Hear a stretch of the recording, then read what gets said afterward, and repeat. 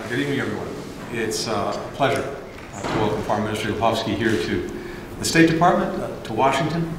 Um, The United States and the Czech Republic are longtime, strong uh, allies and and partners uh, across so many issues, but we've seen the strength of that alliance and partnership right now in the face of Russia's aggression against Ukraine.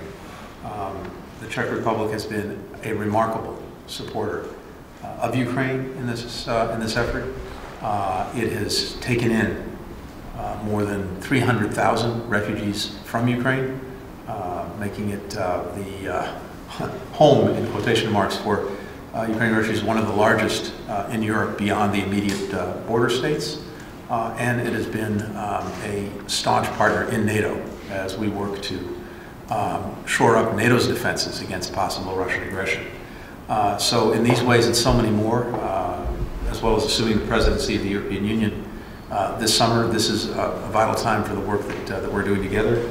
It's great to have you here. There's another uh, thing that brings you you here that is greatly appreciating and quite frankly moving to me, and that is um, tomorrow the services for Madeleine Albright, a proud daughter of uh, the, uh, the Ch- the Czech Republic, but also, of course, of the United States. Uh, person greatly revered in this, um, in this, in this building, in this institution. Grateful to you, Jan, for uh, being here at this time as well. Welcome. Mr. Secretary Antony, thank you for this opportunity to meet and uh, reiterate our uh, good, great relationship. Uh, and we are meeting in extraordinary time. Uh, the, the Putin wars against Ukraine, it's something uh, we have not witnessed basically since the end of the Second World War. It's an attempt to attack international order, and uh, it is very important for Central and Eastern Europe to know that we are not left alone.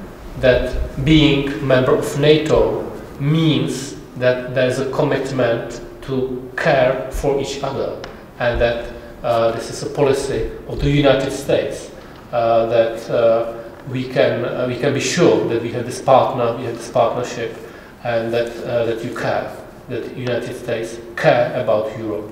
So uh, in this extraordinary time, it is it is really important for us to, to hear that and to, to of course see the real actions behind that, which is the delivery of uh, not only humanitarian aid, because it's nice to have a band-aid when something happens to you, to you but in a times of war, we, uh, uh, the weapons are what decides, the will and weapons is what decides the result on the ground.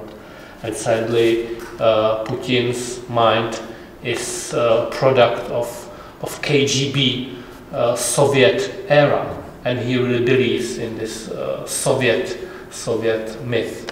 Uh, they do not consider Ukraine a sovereign state, state which means uh, they are against the international order.